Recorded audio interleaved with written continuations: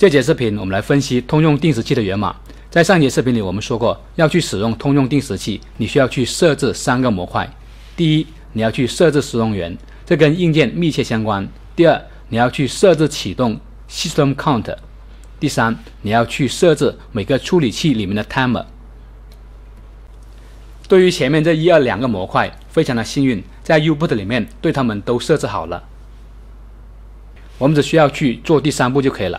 即使对于第三步，因为它毕竟是通用的定时器，在鸿蒙的内核里面，对于第三步也有完善的代码。实际上，我们只需要去确定中断号就可以。所以，对于这节视频，我们只需要去分析源码，不需要去修改源码。对于这个通用定时器，它的源码在哪里呢？在这个文件里，我知道是在这个点 C 了。那么这个点 C 它怎么被引用呢？来搜索一下它所在的目录。我们来看看是在哪里来指定说要使用这个点 C 的。我们可以来 glib 搜索一下，搜索这个目录的名字。看到这里，打开这个文件，你看这里面有，如果你定义了 demo trip，那么它就使用这个目录。ARM Generic 里面有通用定时器的源码。好，我们想。来分析源码，首先来看看初始化，它怎么去初始化的呢？来看这里，它很简单，它读出频率，然后去注册中断，这个频率它就是 system count 时钟元。假设这个时钟元是八兆，那么这个函数就可以得到八兆，这个数值保存在这个全局变量里，以后会使用它来设置定时器的间隔。下面是注册中断，我们要注意的是，这个中断号是怎么确定的？这个中断号为什么是二十九？你可以来阅读幺五七的界面手册。为什么是幺五七呢？因为六 U L 上面对于这个中断讲的没有幺五七清楚。你看，对于二十九号中断，它是什么？它是物理定时器 even，安全模式下物理定时器 even，要么使用二十九，要么使用三十。经过测试发现是二十九才起作用。这两个中断的差别还没有去细看，我们再回过头来看看源码。这个初始化函数它并没有去使能定时器，我们怎么去启动这个定时器呢？得调用这个函数。这函数干嘛呢？首先它去使能中断，然后去设置 t value。t value 是什么？t value 在上一节视频里曾经讲过，t value 是一个 down count 递减计时器。它设置成什么值呢？它设置成这个这个红，这个红等于什么？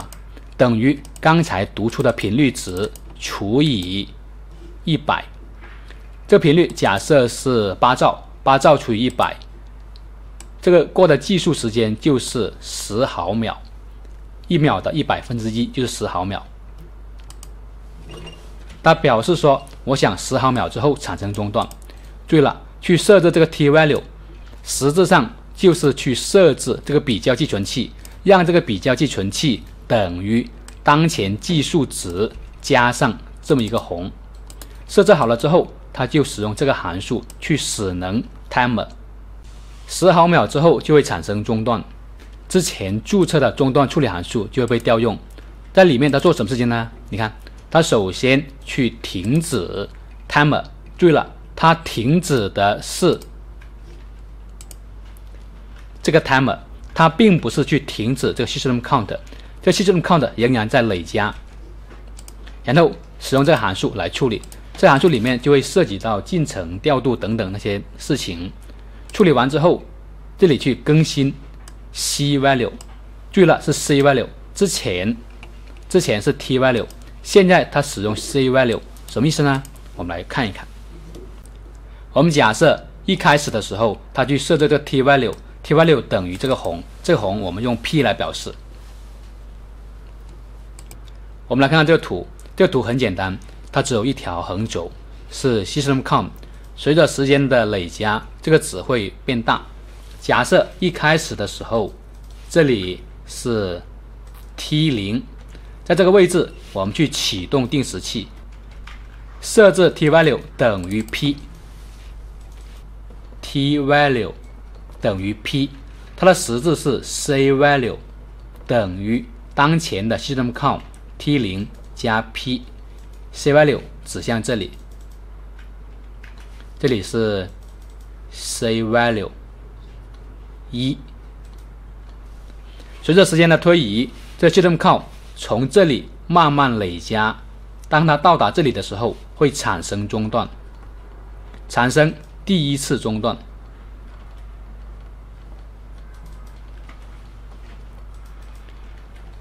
然后就会调用到中断处理函数。